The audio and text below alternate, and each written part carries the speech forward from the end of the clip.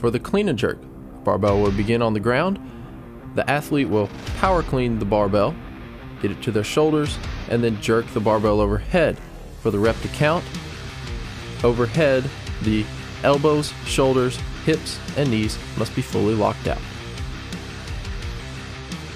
If the athlete chooses, they may use a split jerk style to get the barbell overhead. If they do this, the feet must be returned under the hips before the barbell is lowered to the ground.